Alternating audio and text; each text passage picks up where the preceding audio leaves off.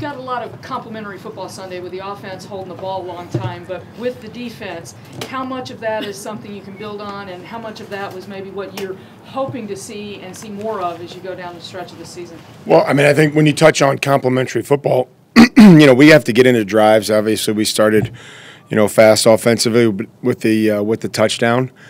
Um, you know, I mean, I think whether you're getting stops, whether you're getting three and outs, whether you're getting turnovers, um, but there's a, you know, there's some semblance of you know complementary football. We were making our kicks, we were kicking touchbacks. Um, you know, there were a lot of things that we can you know hope to build on. Colts defense has been living on takeaways. Mm-hmm. You put an extra emphasis with the offense this week on taking care of the football, not putting it in harm's way. Well, you know, I mean, I think that that's something that they've been known for. They do a fantastic job. You know, obviously, um, you know Leonard is is outstanding at it, um, and, and, the rest of the the unit. You know, it, it looks like they're all uh, looking for opportunities. You know, whether they get them or not, they have gotten um, a lot.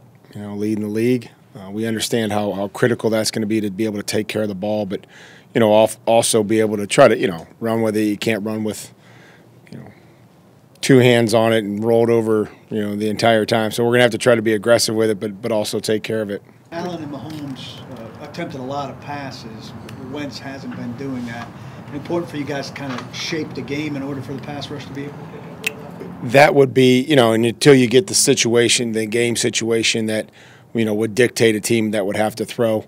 Um, you know, they have three three amazing backs. Obviously, Taylor is going to probably be, you know, get the bulk of that. But but you know, Hines goes in and has his plays, and and Mack has been able to go in there and spell those guys, and then.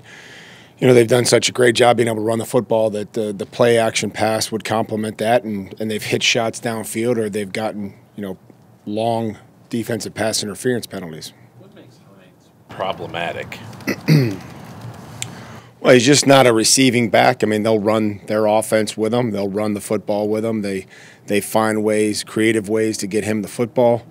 Um, and, and, he's a, he's a good player. You know, I mean, he's a good returner, a punt returner. He is a um, you know skilled athlete. He catches the ball easy. He runs really good routes, and um, you know he's always you know given us problems. Wentz maybe look from a mobility standpoint from when you faced him and, and effectiveness standpoint? I, I, think obviously much more effective. You know, I mean, doing doing a really nice job, and I think that um, his health probably has a you know big reason to do with that. I think also um, you know their ability just to you know kind of improve as the season's gone on. This is uh, you know a much better football team uh, in, in all phases. You know, than the one that we saw, and um, you know, that was a difficult test then. You know, they're essentially four zero. Oh. You know, they won four games in a row. I know they lost to the Ravens, but you know they played outstanding. They just unfortunately, um, you know, ran into a tough night with with how Lamar played there in the second half. With that offensive line, they're getting Quenton Nelson back. How much does he kind of change or improve that offensive line, especially from a physicality standpoint? Well, I think he brings a, a demeanor and attitude. I think he's one, you know, a Pro Bowl player, um, somebody, you know, a captain. Um, so it looked like you know, he gave them a, you know, shot energy, a physicality. You see him finishing and, and, and trying to, to move people off the line of scrimmage.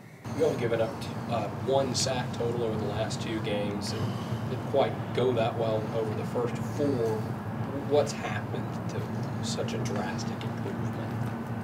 We, you know, we touched on this. We're focused on the Colts, and it's going to be a huge challenge to protect these guys. They got a bunch of edge guys that that play hard, that rotate in there. Uh, Buckner is obviously a very gifted, long player, and so, you know, right now our focus is on improving. You know, to to your point, to your question, we have improved in that area. I think obviously. Um, it starts with the protection. It starts with guys getting into routes, you know, recognizing man or zone, being open, you know, when the quarterback needs to throw the football. All of those things that we're going to have to do, you know, this week to try to, uh, you know, help slow slow some of that pass rush down. Kind of mentioned leverage and uh, you know looking for help for Molden earlier in the year when he was struggling a bit. Wondering if you've seen improvement in, in those regards from him, uh, you know, over the last few games. Yeah, I mean, I think Elijah's in, improved and, and has you know helped us and, and when we've when we've blitzed them and, and in the zone coverage, being able to reroute guys, and then you know obviously, you know hold up in man. You make it a point of emphasis at all with the players and coaches that what a win would do as far as taking up the upper hand in the division race, or do you just kind of push that aside and and focus on just the game plan task at hand? Well, we're focused on improving. We're focused on improving each week right now. We're focused on on fundamentals. We're focused on, you know, the matchups that we're going to have in the game against the Colts. You know, we understand the, you know, the the magnitude of division games, especially you know on the road, um, how challenging that will be. Uh, I don't know if we've talked about the the impact or the you know anything past just this week. How much does AJ quickly change the dynamic in terms of separation and play action success when he's out there? I mean, I think AJ's got a good skill set for, for some of those passes. He's, you know, fearless to, to go inside to catching the football. Um, you know, he goes and attacks it with his hands. It doesn't let it get into his body. Those are contested throws that normally, you know, when they get into their you know body, those are tough to catch. So, um, you know, he continues to, to develop and improve, and you know, we'll we'll need every bit of his best this week to to give ourselves a chance. Watching them on, I guess, Monday night, they think they drew three, four penalties downfield. I mean, how much of that is, is from a strategic standpoint, throw it up, see if you can draw a penalty, and what do you maybe tell your DBs in trying to keep some of that from happening?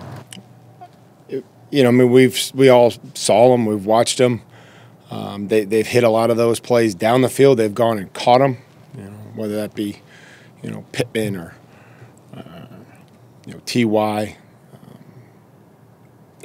A lot of it was the ball was underthrown.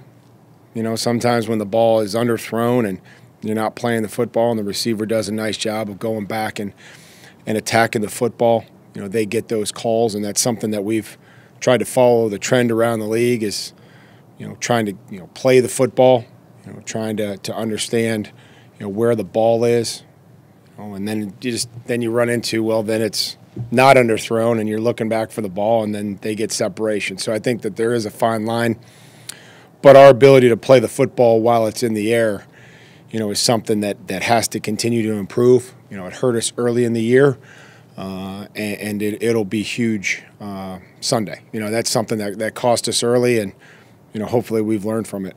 Coach, how nice is it to get a couple, few guys actually back at practice today? I know still on that IR, but just getting some healthy bodies out there.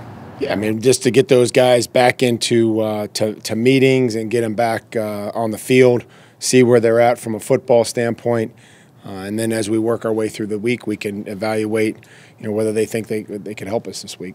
Enjoy seeing a guy like Mabin, you know, who's come in and cut, you know, a few times here getting the chance like he did and, and you know coming through?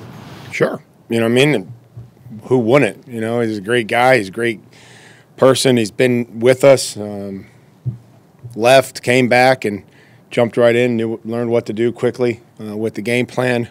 Went and played, and um, you know, I don't know how you couldn't be happy for for guys like that. Is, is there something about his skill set you know, that, that worked especially well against Kansas City as opposed to maybe some of the other guys?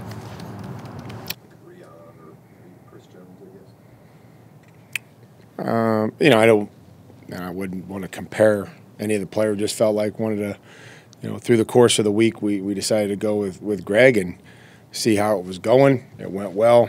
We kind of stuck with him. We'll see where it is this week. Is that part of the plan when, when you guys make roster moves during training camp, for example, guys coming and going, that, that you want to have as many guys out there maybe with uh, at least a taste of having been here and knowing what you do, that if you get in a pinch, you can, you know, there might be somebody you can bring back that way?